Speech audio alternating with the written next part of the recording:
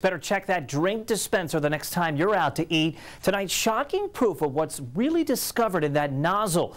Get ready for the good, the bad, and the dirty dining as we reveal what's not on the menu in this week's Food for Thought. There's nothing fresh, an inspector says, about the condition of this iced tea nozzle. The inspector's photo is all the Food Patrol needs to spring into action at this Popeyes in San Benito. We want to know who's responsible. Did you see what was in that nozzle? Yes, I saw that. Would you want to drink from that nozzle? No, I would not. Your customers, though, paid for that tea. Yes, I understand that. 40 demerits popped up on an end of October city inspection. Prep area mold, expired items, no hand washing, flies, and dirty equipment are just some of the violations listed on the report. The inspector documented the dirty finds with photos. The restaurant on 115 Expressway 83 failed a reinspection as well with 26 demerits. Popeyes finally cleared on November 10th after a three demerit checkup. For this customer, Gary Horner, it's not enough. 40 is pretty bad, especially for a new establishment.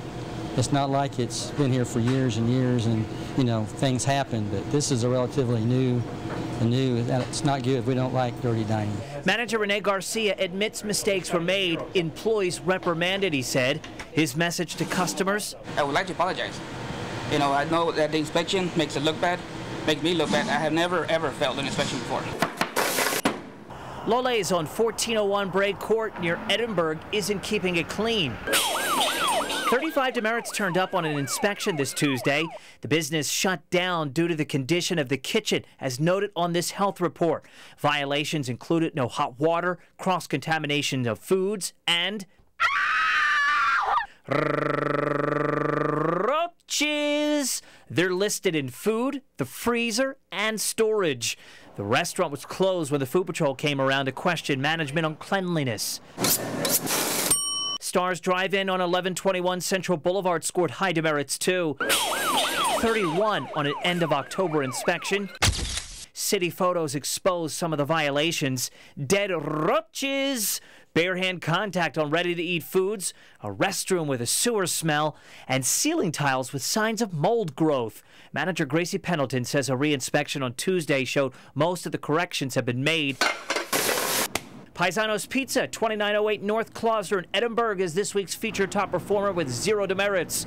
The Food Patrol personally awards owner Ruben Luna a sticker. How does that make you feel? It makes me feel good uh, that we strive to make sure that we keep it clean. Food Patrol fans will benefit too, and I'm not just talking about food from a clean kitchen. Tell them that we'll go ahead and give them a 15% discount for for coming out here and hearing this on the news. See that, Food Patrol fans? It pays to keep it clean. I love it. Congratulations. Thank you.